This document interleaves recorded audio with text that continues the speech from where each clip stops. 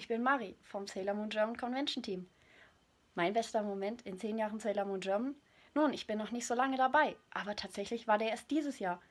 Und zwar, normalerweise bin ich immer auf den Conventions ähm, hinter dem Infostand zu finden. Dort informiere ich euch im Namen des Mondes. Aber dieses Jahr durfte ich auch mal auf die Bühne. Das war für mich eine ganz neue Erfahrung. Aber ich kann leider nicht sang, singen und tanzen. Deswegen habe ich euch anders unterhalten. Aber trotzdem habt ihr es gut gefunden. Und es hat mich auch so bewegt, denn trotz, dass unsere Show so früh gestartet habt, wart ihr sehr viel gekommen und ähm, war total mit dabei. Und es war eine sehr schöne Show und ihr habt richtig gut mitgemacht. Man hat richtig gespürt, dass es euch auch bewegt, was wir gesungen haben und was wir darbringen wollten. Das hat mich immer noch dazu angespornt, noch 100 Millionen Shows hätte ich machen können. Aber leider hatte ich nur eine. Vielleicht Irgendwann mal klappt es wieder, wer weiß. Ansonsten findet ihr mich immer noch hinter dem Stand und dort informiere ich euch im Namen des Mondes. Und ich wünsche euch natürlich einen guten Rutsch ins Jahr 2020 und man sieht sich an der Infotheke.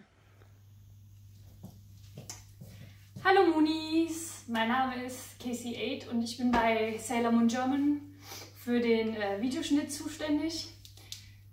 Ich wünsche euch allen einen guten Rutsch und ein schönes neues Jahr. Ähm, wir haben ja dieses Jahr zehn Jahre Sailor Moon German gefeiert.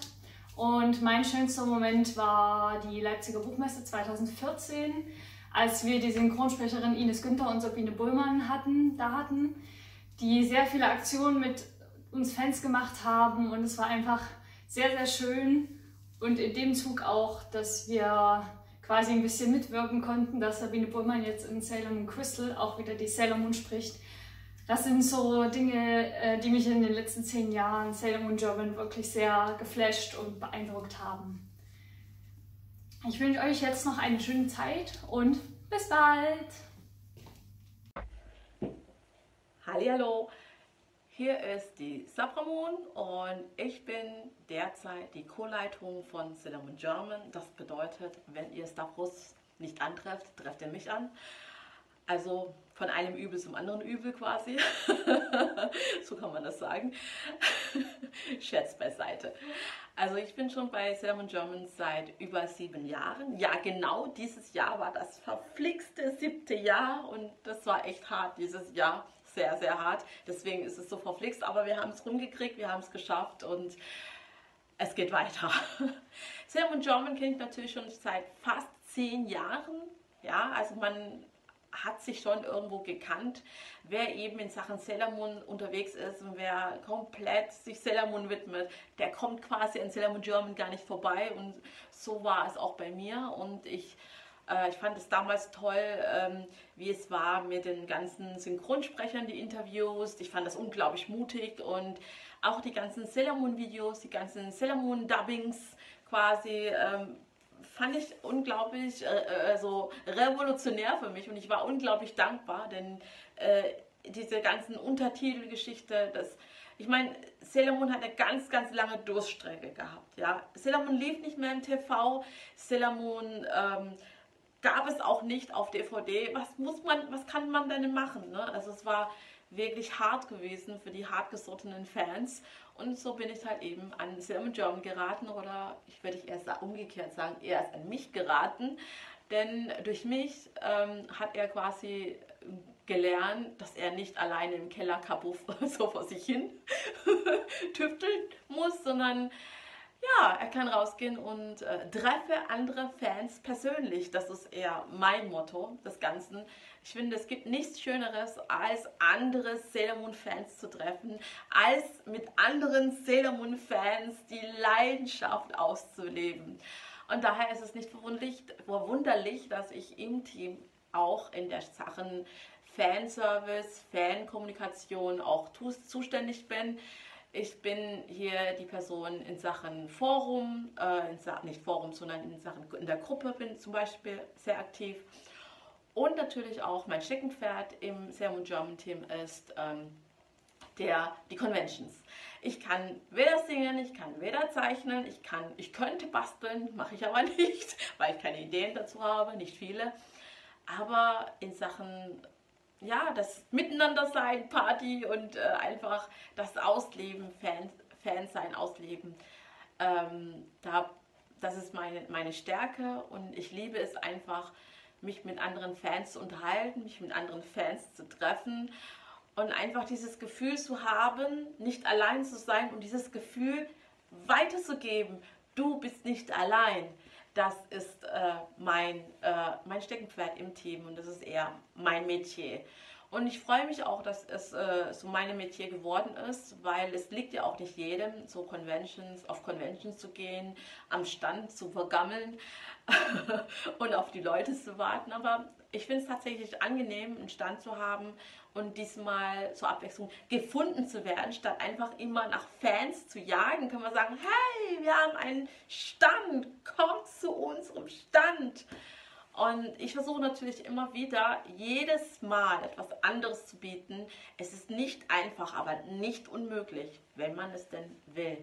Dafür bin ich natürlich auch sehr dankbar, dass ich inzwischen ähm, einige sehr, sehr liebe, tolle Mitglieder und kompetente Mitglieder äh, gefunden habe oder sich uns angeschlossen haben. Und ähm, ja, und diese Leidenschaft, diese, dieses Feuer mit weitertragen in die Welt. Ja, und das Video darf keine Überlänge haben, deswegen rede ich so schnell und ich bin schon bei vier Minuten. mein schönster Moment bei Cinnamon German, auch das ist so schwierig, weil es kein wirklich großer, also es gibt so viele, es gibt einfach so viele und ich, ich weiß nicht, ähm, es nur eins zu nennen ist, äh, ist schwierig. Ich kann, nur, ich kann nur so viel sagen, die Möglichkeit bei Cinnamon German dabei zu sein, ähm, ich habe es einfach genutzt ich habe mir etwas ins Ziel gesetzt und durch Sermon German konnte ich es verwirklichen. Ähm, ich habe es schon immer geträumt, auf der Bühne zu stehen und ja, durch Sermon German durfte ich draufstehen, obwohl ich nicht singen kann, äh, nicht, äh, nicht zeichnen kann, ähm, ja, nicht besonders gut tanzen kann, aber ich stehe da und labere euch zu, so wie ich hier euch zulabere. Und äh, wie ihr merkt, ich bin da mehr für, schon für die Kommunikation zuständig. Ich, ich bin mehr für, für das äh, Real, für das echte Treffen. Und da, daher ist auch mein Steckenpferd mehr die Videos. Ich bin nicht so gut im Schreiben. Das ist auch schlimm. ja, ich bin schuld, dass die Seite so viele Rechtschreibfehler hat, so viele Grammatikfehler hat. Ja, ich bin schuld. Ich bin nämlich diese, seit dieses Jahr auch an der Macht. Ja, die Sailor Moon German Facebook-Seite steht inzwischen auch unter meiner Kontrolle. Und ja, bitte nehmt es mir da nicht übel, wenn ich da nicht immer ja, alles korrekt wiedergebe oder schreibe, weil ich einfach immer mehr für das Visuelle bin. Ja? Ob ich jetzt ein visueller Hingucker bin oder nicht, sei dahingestellt, aber ich bin mehr für das Reale, für das Angesicht zu Angesicht, für das Persönliche. Denn das geschriebene oder das gelesene Wort, das ist, kann so viel interpretiert werden, aber das gesprochene, das ist nochmal was ganz anderes.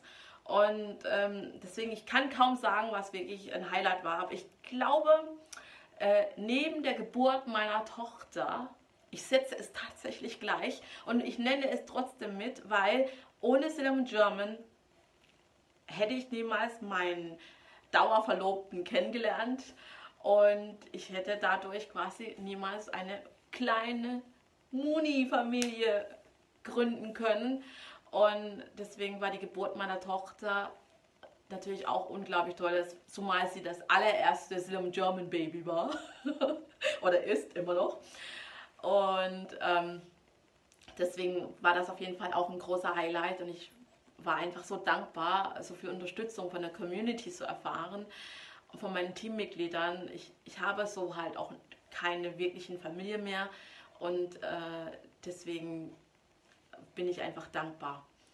Und zum anderen Highlight und Meilenstein war für mich Sailor Moon in einem Kino erleben. Und nicht nur das zu erleben, sondern ich durfte es ansagen. Ich war eines der Moderatoren, die sagen durfte, Hallo, jetzt läuft gleich die und die Episode und Spoiler! ja, das war echt toll. Ähm, in einem Kino, in einem offiziellen Kino, Kino äh, ja, seine, seine Lieblingsserie ansagen zu dürfen und dann da zu sitzen und Sailor Moon auf rosa Leinwand zu schauen. Das war für mich ein riesen Meilenstein. Das war so ein schönes Erlebnis. Ich habe mir gewünscht, oh mein Gott, so schade, dass nur so wenig daran teilgenommen haben. Es wäre so schön, wenn noch viel, viel mehr Leute daran teilnehmen würden. Und am gleichen Tag war auch Sailor Moon in einem Open-Air-Kino zu sehen. Und das war auch ein Erlebnis. Du sitzt da, du bist einer von 3000 oder mehr, ja, die Sailor Moon auf einer riesigen großen Leinwand anschaut. Das war, das war ein Erlebnis. Ich kann es nicht wirklich in Worten beschreiben, außer ich hoffe so sehr, dass das noch irgendwann wiederholt werden wird. Und deswegen freue ich mich unglaublich auf die Sailor Moon Eternal Filme. Ja, und ich hoffe so sehr, dass sie zeitnah auch in Deutschland herausgebracht wird, dass es zeitnah auch in Deutschland in einem Kino herausgebracht wird. Und damit wäre das die Überleitung dazu, was ich mir für die Zukunft wünschen würde. Ich wünsche mir für 2020, dass Sailor Moon Eternal ganz ganz zeitnah auch hier bei uns hierzulande erscheinen wird. Und ich wünsche mir, dass wir ein Event daraus machen. Das wäre für mich der nächste Meilenstein von allen Meilensteinen, was ich bisher erlebt habe, die übrigens äh, auch nicht schlecht war äh, als als ich auch in einem Sailor Moon DVD mit, äh, mit verewigt wurde. Also in Sailor Moon Crystal, letzte, die Box 6 glaube ich, oder ne, Box 4, äh, da sind wir verewigt worden mit einem Sailor Moon Crystal Doku, wie Sailor Moon Crystal in Deutschland angekommen ist. Ah, das, war, das waren einfach so viele. So, und ich bin wieder viel zu viel, zu lange online, deswegen sage ich jetzt gleich weiter. Für 2020 Sailor Moon im Kino. Stellt euch das mal vor. Sailor Moon im Kino. Egal, ob euch die Synchro so sagt, draufgeschissen, Sailor Moon im Kino, hallo? Ja, und dann mit anderen Fans, wie wir da sitzen und dann, ah, oh, yes, nein. Und dass wir gemeinsam lachen, gemeinsam leiden und danach gemeinsam Party machen, weil wir das miterleben durften. Sailor Moon im Kino. Oh, und dann stelle ich mir so vor, wenn es dann ähm, mit Sailor Moon Becher und Popcorn und oh, ich würde alles aufheben. Ich würde alles aufheben. Ich würde alles einrahmen. Ja, egal. Ich möchte einfach Sailor Moon im Kino mit euch erleben. Das war das unglaublichste Erlebnis überhaupt. Ähm, und das würde ich mir für 2020 wünschen, dass wir das endlich gemeinsam landesweit erleben. Und ja, das würde ich mir für 2020 wünschen. Und ich kriege mich jetzt hier, glaube ich, gar nicht mehr ein. Deswegen mache ich an dieser Stelle Schluss. ähm, ich wünsche euch noch einen guten Rutsch ins neue Jahr und ähm, bleibt weiterhin Sailor Moon treu. Ähm, indem ihr Sailor Moon Fans seid, unterstütze uns schon, indem ihr uns immer wieder Input gibt, indem ihr uns immer wieder motiviert, ähm, indem ihr uns Ideen gibt.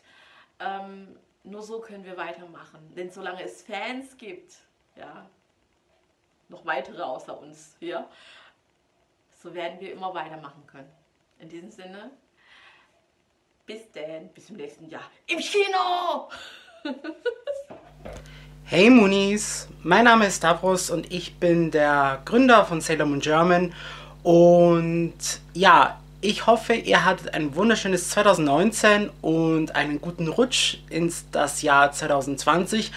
Krass, oder? Ein neues äh, Jahrzehnt erwartet uns und das ist quasi mein letztes Video in diesem Jahrzehnt, aber ein umso schönes, denn ähm, vor über zehn Jahren habe ich ja Sailor Moon German gegründet, damals als ein One-Man-Projekt. Und jetzt mittlerweile sind wir schon ein großes Team und informieren im Namen des Mondes und machen viele, viele Projekte rund um Sailor Moon. Und es ist sehr, sehr schwierig, jetzt meinen Lieblingsmoment aus ähm, zehn Jahren Sailor Moon German rauszupicken, weil es gab so viele Highlights, so viele tolle Momente, wo ich äh, viele, viele Leute kennenlernen durfte, wo ich ähm, viel dazu beitragen durfte, dass Sailor Moon präsent sein darf und Ja, es gab in der Tat ein Projekt, das hat mir wahnsinnig viel Spaß gemacht und das war unser Musical 2017, Die Stille kommt näher.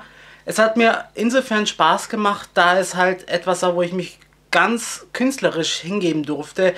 Ähm, wenn man natürlich Fan der Serie ist und die Charaktere kennt, dann ähm, macht es umso mehr Spaß, seine eigene Geschichte draus zu schreiben. Und es war ein sehr kreativer Prozess. Ich habe das Drehbuch geschrieben, ich habe die Songs ausgewählt.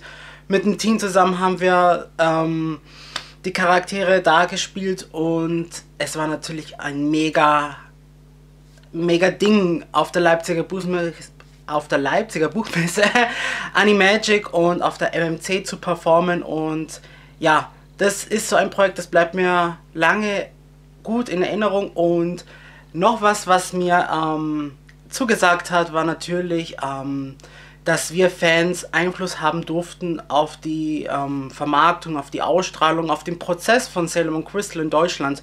Ich selber durfte ja ähm, offiziell mitmachen. Ich habe die Redaktion unterstützt, habe die Übersetzungen teilweise mitgemacht, ähm, beraten und mich mit euch dafür eingesetzt, dass Sabine Bohlmann wieder ähm, die Sailor Moon spricht. Das sind natürlich so Sachen, ähm, die bleiben einen, glaube ich, für immer in Erinnerung. Und das sind so Sachen, wo ich sehr dankbar bin. Ich bin dankbar, ähm, dass ich ähm, das machen durfte, dass ich äh, viele, viele Moonies kennenlernen durfte, dass ich tolle Mitglieder habe, mit denen es auch möglich ist. Und ich bin gespannt, was die Zukunft für uns parat hält. Und ja, ich blicke sehr freudig 2020 entgegen und bin gespannt, was wir so alles treiben werden. Und ja, mir bleibt nichts anderes zu sagen, als im Namen des Mondes informieren wir euch weiterhin und bis demnächst. Ciao, guten Rutsch.